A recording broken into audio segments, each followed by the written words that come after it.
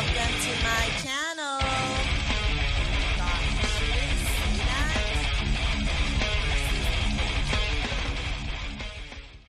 Hello, you guys, and all my beautiful people out there. This review, I have astigmatism, so sorry if I get a little cross-sighted. This review is all about anesthesia amarillo. Wait, I said that wrong. Anesthesia amarillo. Amarillo. The color amarillo. Like yellow? Yes. These right here are anesthesia amarillo. I can't pronounce it right. I'm so sorry. Amarillo. Amarillo. Amarillo. Okay, this is, I'm trying to get lighting, good lighting. These are the contacts. These are like gray, blue, like, no, not blue. They're like a, they're like a gray green. Like, God, they are so pretty. They look so natural. The lighting is really horrible where I'm at. Hold on, pause this. Okay, I'm on some the other part of my house. Um, these are the contacts, you guys. They are really thin. Um, God, my house looks so ratchet, dude.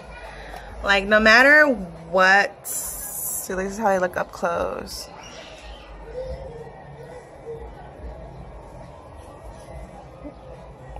That's how they look.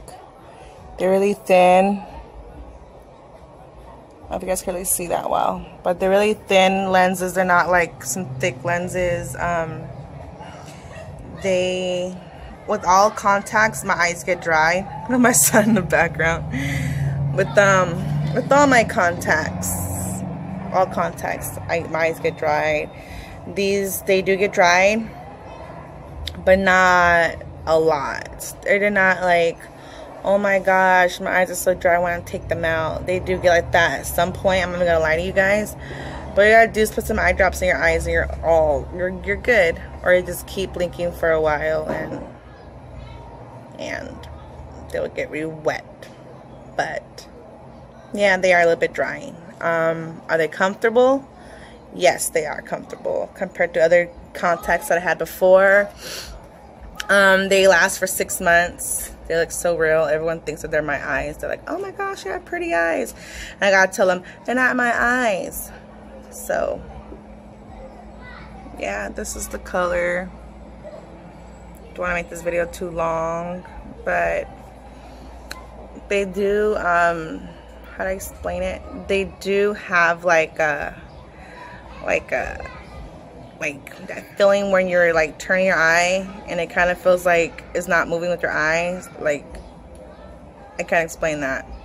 Like I move this way my eye this way I move this way like that contact moves a little slow because I guess my eyes are dry. But they are beautiful they look really natural compared to a lot of other contacts that are out there.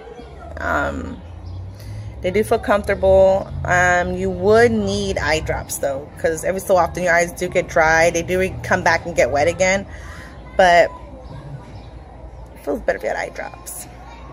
So these are anesthesia amarillo. There it goes, amarillo. It's like a green gray color. So that's my review. Peace out, toodles.